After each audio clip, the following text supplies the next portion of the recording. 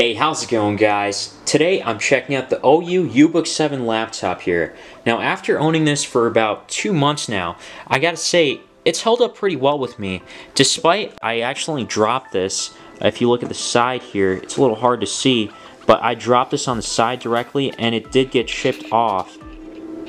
And you can see it right here. But the discoloration isn't as bad as it seems because this is already in gray, so it's kind of black here. So it doesn't really ruin too much.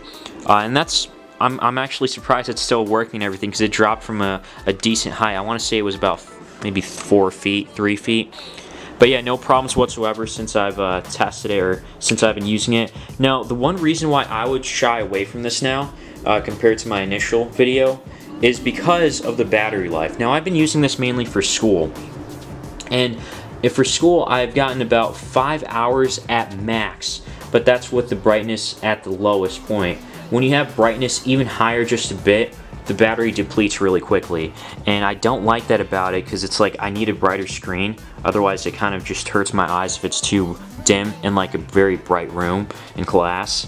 So it lasts for about two days because I, I take it to class with me and yeah and then after that I just have to charge it. And I guess one another reason is because it feels almost like a downgrade in a sense because before this I had the iView Megatron 2 and the iView Megatron 2 had a 10,000 milliamp hour battery inside versus this has a 5,000 milliamp hour battery I believe. And by the way it's also lower in price than what we saw in the original review video or unboxing video when it was at $210 it's come down to $190 and with this coupon code it'll drop down to around 180 183, 182, somewhere around there, and then plus taxes, it might get you up to 200 if you do have tax around your area, but that's beside the point.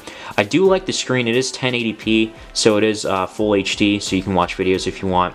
I don't, I actually don't watch videos for the most part, I only watch it every now and then once in a while, but it's convenient, I gotta say, it's uh, everything sharp and smooth. Uh, in multitasking is a lot better on here versus like the iView Megatron 2 because 4 gigs of RAM, but this does tend to slow down every now and then sometimes. And the reason is, is not because of the RAM, it's actually because of the CPU here. It tends to be at 100% being like maxed out every time. And I'm not sure it's because I switched to Firefox, but either way, uh, Firefox takes up less RAM than like Google, Google Chrome does. So that's why I switched to this. So for multitasking, this is definitely alright. I didn't notice too many problems. I did notice a problem with having 32 gigs of inter internal storage. Now, of course, you can expand with a micro SD card, and you can put a 2.5 inch drive down here, and that that'll support up to 250 gigabytes.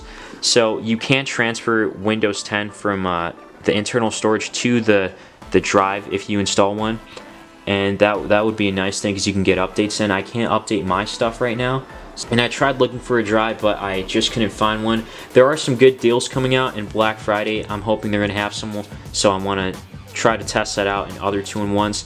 Now, as for this one, I would say this isn't a bad choice.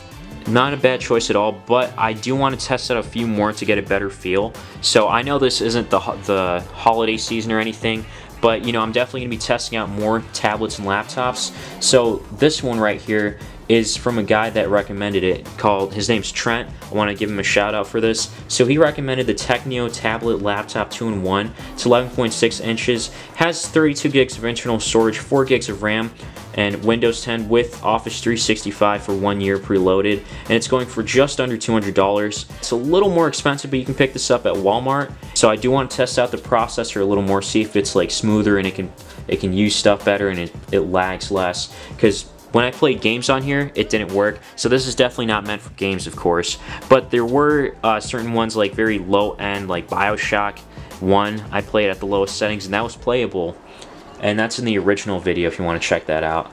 And then the iView Megatron 2, had the nice battery life going for it, but you can only do one thing at a time on it. So if you want to go for that, if you're only going to be doing very, very light stuff, then the iView Megatron 2 is the way to go. But if you want to be multitasking, doing a little more, then this is the way to go, uh, the OYYU UBook 7 here. And I gotta say, this is nice and lightweight too, nothing too heavy and the keyboard is responsive, so is the trackpad. This is a nicer trackpad too, a smoother one. No touchscreen though, that's one thing you have to keep in mind. This fits easily in my backpack, no problems whatsoever. This is the ULAK backpack that I'm using, and yeah, it just slides right in there, no problems whatsoever. It doesn't add too much more weight. So when it comes to basic tasks like web browsing, uh, a little bit of multitasking with like Firefox, I was able to do my homework on certain websites. And yeah, I would go ahead, if you can't wait any longer and you're looking for something right now, then this is a, a laptop to go for. Otherwise, I'd say hold up, hold your money off. There are better options out there most likely than this, so I definitely want to test them out. So be sure to subscribe for that, and let me know in the comments down below what you guys think. Leave a like if you found this video helpful. As always, thanks for watching.